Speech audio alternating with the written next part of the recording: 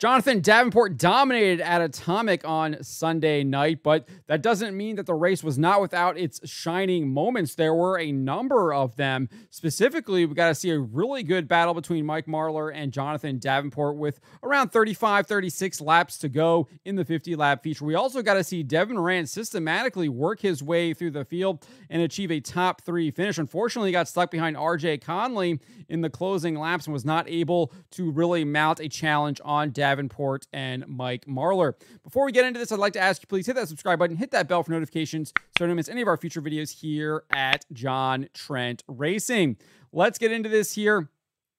Um, with about 36 laps to go, uh, we had some really interesting racing here between Jonathan Davenport and Mike Marlar as they got to the rear of the field. You can see RJ Conley there is in that number 71 C car. Let's take a look at what happens here and how Mike Marlar was able to steal the lead for a couple laps from Jonathan Davenport.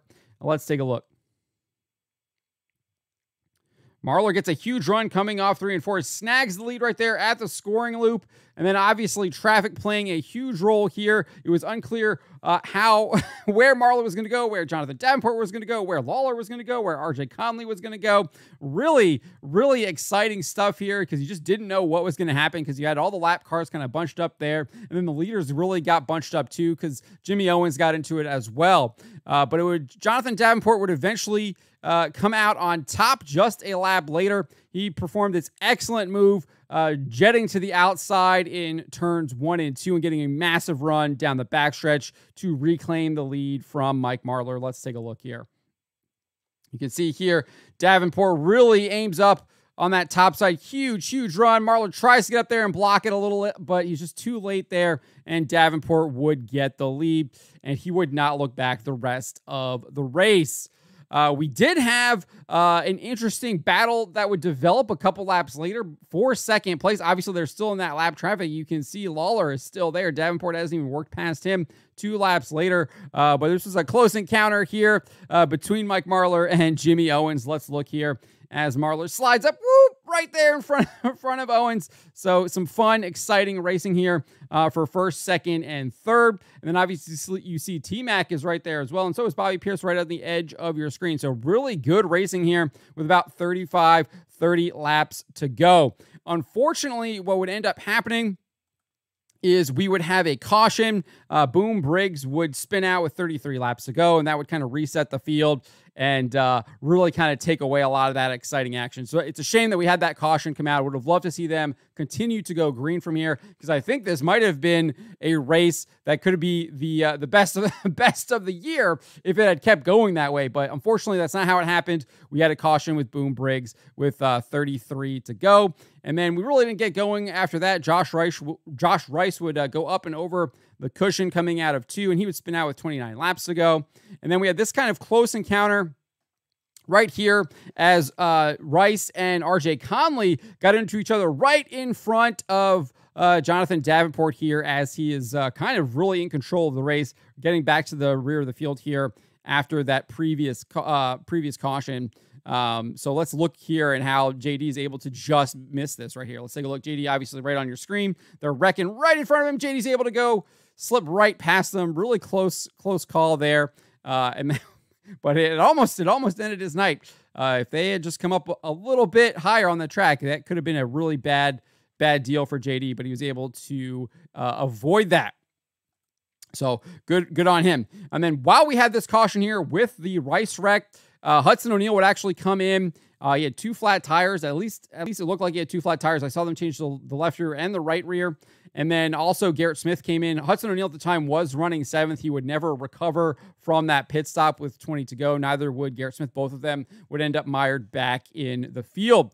Uh, and then uh, we did have a, a, a, good challenge here. As I said at the beginning of the video, Devin Moran did really work his way through the field uh, systematically. Really, they actually we really got to see a lot of him, a lot of him driving because there wasn't a lot happening in the front because JD was kind of running away with it, except for that like five six laps there uh, with what 36 uh, 30 to go. But Moran he was able to get past McCreadie. he was able to get past Bobby Pierce, he was able to get past Jimmy Owens, uh, but he was not able to get past RJ Conley here at the end and was unable to get past Mike Marlar. Marlar did a really good job of taking away Devin Moran's line. Moran had really found something around the bottom. I think he had the best car around the bottom. No one else was really able to do anything there. That's how he worked his way around. Everyone else was kind of working through the bottom there. Uh, and he tried to go to the high side of Conley, and it just didn't work out uh, because Marlar, for the, I don't know, it was like three or four laps, I guess, really kind of took away that bottom line from Moran. But let's take a look here at uh, at how uh, Moran had to go to the outside of RJ Conley while Marlar was able to go to the inside of him and make the pass, and, and Moran just was not able to do that. Again, there's three laps to go. So you can see Moran just wasn't able to really run off the top there.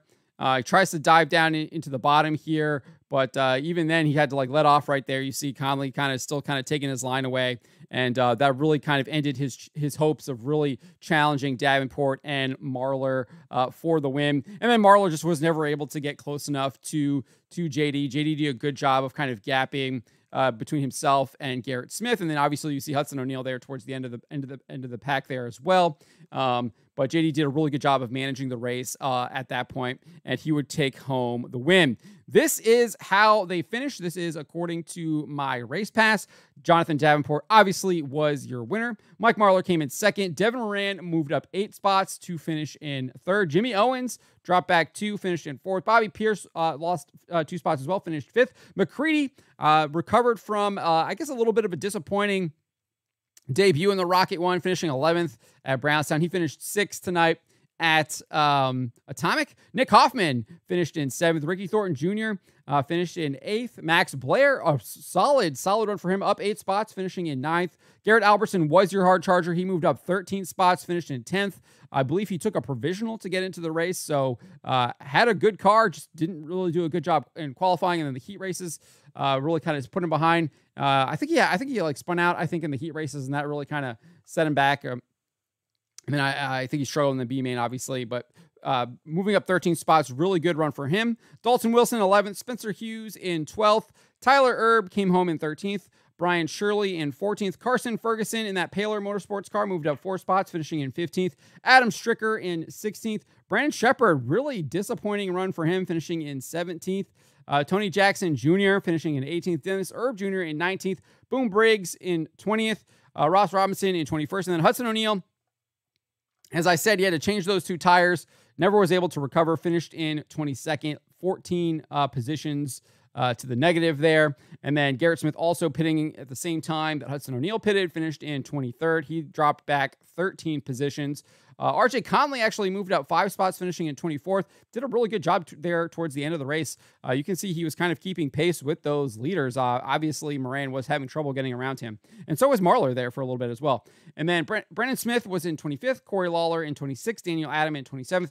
Josh Rice just did not have a really good night. Uh, multiple spin spin outs, finishing in 28th. And then Drake Troutman, I think, had a mechanical failure after uh, that early caution, an early caution for him, finishing in 29th. So that is how they finished at Atomic. Like I said, I thought that this could have been could have been potentially race of the year candidate if we got to keep them going. If we didn't have that spin by Boom Briggs that brought out the caution with about 30 laps to go because we were getting some really really exciting racing there between JD, between Mike Marlar, between uh, Jimmy Owens. You had McCreadie getting in there. You had Bobby Pierce creeping into the picture. Uh, we had almost almost a five car battle for the lead. There was a ton of lap traffic. We are going to see how they were going to navigate it. And it was really going to be exciting. Unfortunately, it just didn't pan out that way.